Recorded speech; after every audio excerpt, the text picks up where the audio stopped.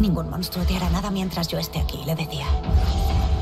Bueno, eh, Arcane. ¿Qué es Arcane para la gente que eh, haya estado viendo debajo de una piedra y no se hayan enterado? Esas dos únicas personas que no estén viendo Arcane en todas sus redes sociales los últimos 6-7 días, las últimas dos semanas, una semana, no sé cuánto lleva la serie en marcha. Arcane es una serie de el LOL, del League of Legends, efectivamente, has escuchado bien. Del jueguito ese de Pim Pim, Alex el Capo Mata Faker, han hecho una serie de animación de nueve capítulos que están sacando cada, cada viernes, creo, cada sábado. Tres capítulos, de tres capítulos en tres capítulos, hasta un total de nueve. De cada uno unos 50 minutos de duración, una hora aproximadamente. Así que bueno, son básicamente unas 8 o 9 horas de contenido ahí puro y duro. Lo primero de todo, lo que te lo que te preguntando, al igual que me pregunté yo antes de empezar la serie. Tengo que haber jugado al LOL tengo que enterar, tengo que saber algo del juego para poder ver esta serie. La realidad es que no. Pero sí hay como personajes, evidentemente, hay muchos guiños a el tema de las runas y, bueno, personajes tal cual, la campeona es tal cual del juego,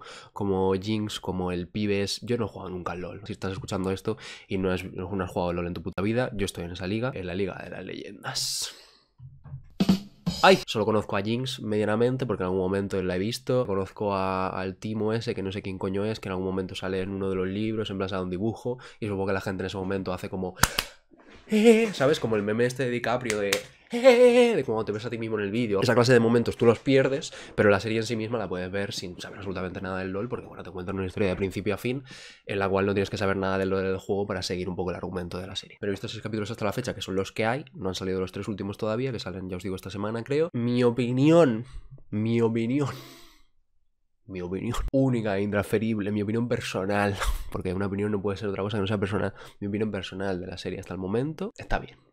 Vale, está bien. La peña por redes sociales la está poniendo como literalmente la mejor serie del putísimo universo, lo más recomendable del mundo, lo único que se escucha, pero al igual que con el fenómeno del juego del calamar, igual vamos a calmarnos, vamos a bajarnos dos tonitos. Es disfrutable, me he comido los seis capítulos en plan venga, a merendar, pero no es la mejor serie del mundo, ni muchísimo menos en cuanto a argumento. Vamos a, vamos a hablar claro. En cuanto a argumento, creo que la serie te cuenta la historia como de como una ciudad en el que, bueno, por una parte está el ala de los ricos y de la gente, ¿no? Que es en plan, oh, mira, me he comprado el nuevo iPhone. Y por otra parte está la gente que se compra el Huawei más barato porque no le da para más, ¿no? O ni siquiera, o tiene un Alcatel. Y están como repudiados por la sociedad, ¿no? Están como en los bajos fondos y en algún momento, pues los bajos fondos han intentado cambiar un poco esta situación, quitar ese equilibrio de capitalismo de mierda en un momento intentan como relevarse contra la autoridad, relevarse, no, rebelarse, rebelarse contra la autoridad y les, bueno, salen escaldados de ahí. Y en, esa, en ese barullo, los eh, padres de nuestras dos protagonistas, que son el personaje Jinx que se llama Powder o algo así, y Vi de Violeta, creo,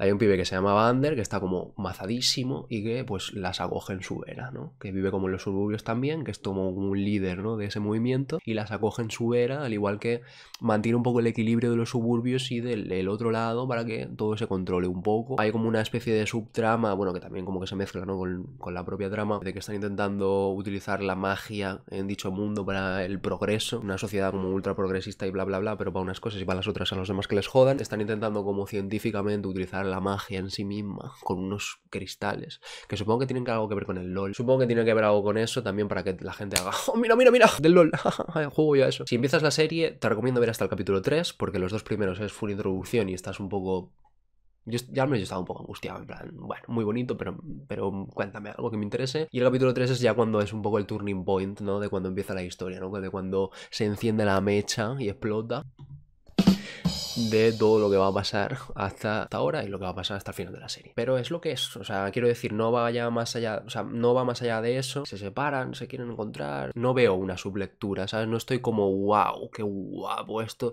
este mensaje que me ha dejado eh, Arcane. No es como acabo de ver la serie y estoy toda la tarde pensando, wow, lo que ha contado en este capítulo, wow, este diálogo, la verdad es que me ha dejado pensando. Es puro y duro de entretenimiento, que está bien, pero quiero decir, vamos a calmarnos un poco porque la están metiendo una de las mejores series del puto universo. Ahora sí, una cosa donde yo como estudiante de efectos especiales, eh, un poco de 3D y demás, tengo que decir que visualmente es una de las cosas más brutales que he visto nunca. O sea, da la sensación de tener la producción de eh, los vídeos estos que hacían para el LOL, que duraban como 5 minutos y eran todos como una puta barbaridad, pero que decías, coño, son 5 minutos en los cuales han trabajado como meses. Pues ese mismo cuidado al puto detalle de, un equipo trabajando durante meses en 5 minutos es lo que tienes en, en Arcane durante los 40-50 minutos o una hora que dura el episodio. Cada frame es un wallpaper. Pero de verdad lo digo, o sea, no estoy exagerando. Cada frame es un wallpaper. Cada acción tiene su reacción. Cada movimiento tiene el pequeño detalle de un humito que sale. Cierran un libro y tiene como un humito. Eh, está como, hay como rocío en el ambiente y ves como cae por eh, una, una, diana a la cual le van a disparar en ese momento, que no sirve de nada, que es un curro espectacular, que nadie se va a dar cuenta y que no va, o sea, nadie va a echar de menos eso que no esté ahí, porque es un plano como de un segundo en el que se ve una diana y ¡pam! la revientan. Es esa gotita de, de agua recorriendo la diana a nadie le va a interesar, pero es que puta barbaridad, cómo está dirigida, madre mía la iluminación, madre mía la fotografía, o sea, de verdad no me acaba de entrar en la cabeza cómo algo así es posible y habiendo visto superproducciones rollo de Disney y de empresas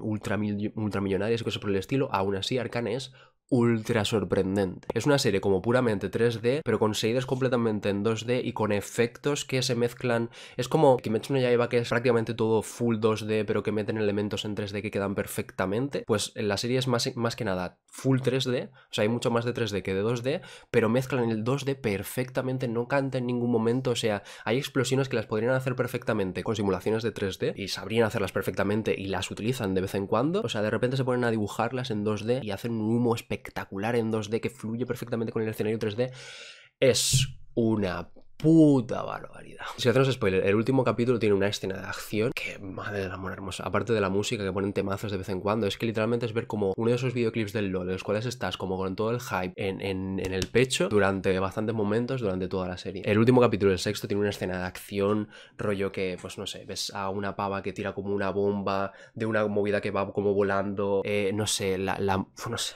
Estoy diciendo no sé 20 mil millones de veces, pero en plan, la velocidad, la dirección para que veas perfectamente cómo le explota eso en la cara, cómo lo esquiva en el último segundo, cómo lo acaba cogiendo, cómo dispara. Bueno, no sé, no sé. Y todo desde. No sé, tío. Otra vez no sé. Es como si coges a un director o unos directores godísimos, coges al mejor equipo que hace fuego en 3D, coges al mejor equipo que hace 2D, coges al mejor equipo que hace eh, humo, coges al mejor equipo que hace tal, coges a todos los mejores profesionales del puto mundo y haces que trabajen en una sincronía perfecta para hacer posible y sin límites lo que es Arcane. Pero, ah, así os lo digo. Yo se lo dije a Elena el otro día, en plan, porque a Elena también por ese comentario en el chat y le preguntan de vez en cuando que, que ve Arcane, o si ha visto Arcane, o qué opina de Arcane, y bla, bla, bla. Porque últimamente están todos los sitios. Cada vez que abro Steam están hablando de Arcane. Y me dijo, ¿qué tal? Merece la pena, debería verla. Y le dije, a ver, en cuanto a historia, yo estoy yo estoy un poco out, o sea, a mí la historia me da un poco igual. Que acabe como acabe, a mí me dan un poco igual los personajes y demás. No, no he empatizado con ellos en ningún momento y es que no sé, la serie no me aporta nada más que, que entretenimiento. O sea, acabo de ver Arcane y digo, qué guay, y no me acuerdo ya de ella. No es como otras series, estoy viendo ahora, por ejemplo, Misa de Medianoche, que ya os he dicho que estoy o sea, ya os lo comenté el otro día, pero estoy por el capítulo 4. He visto hoy, he visto un capítulo más. Misa de medianoche acaba los capítulos y estoy como dándole vueltas a los putos diálogos, a lo que han dicho, cómo lo han dicho, a cómo han mostrado esto, a cómo han mostrado lo otro. Con Arcane termina el episodio y punto final. Pero aún así, solo por la burrada que es visualmente, merece la pena que te sientes a ver Arcane y que lo veas en la tele grande y prestándole muchísima atención. Así que bueno, esa es un poco mi opinión en cuanto a la historia. A mí me parece bastante plano y que no me aporta gran cosa y, y qué tal y que no sé, no me da pena nada de lo que sucede, ni estoy como, ¡Ah! capítulo 3, ok, pasa una movida que no, no se espera la gente, hay como un pequeño girito ahí y tú dices, va, pero bueno. Pero visualmente es que... Visualmente es que no tiene sentido. Así que nada, esa es un poco mi opinión de Arcane con estos primeros 6 caps.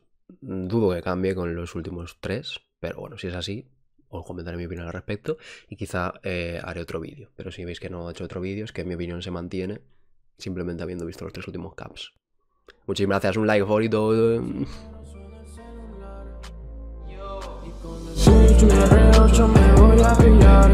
cada